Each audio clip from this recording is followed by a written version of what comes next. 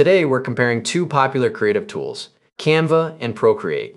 Whether you're designing for business or creating digital art, let's explore which platform aligns best with your goals. First, let's look at Canva. Available on the web, iOS, and Android, Canva is a versatile design platform that caters to a wide range of users, from marketers to educators. It offers an extensive library of templates, AI-powered tools like Magic Write for content creation, and features for team collaboration.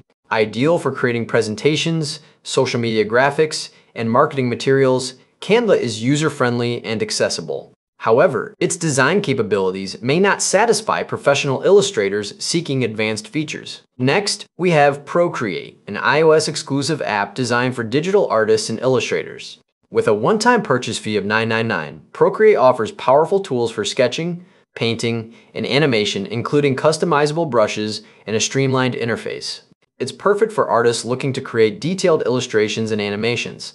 However, Procreate's focus on individual creativity means it lacks built-in collaboration features, which may be a limitation for team projects. So, how do they compare?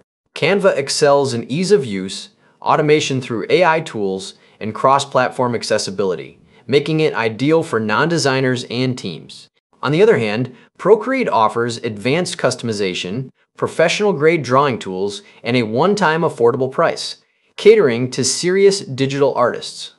Choose Canva if you need a versatile, user-friendly platform for creating a variety of designs with collaborative features.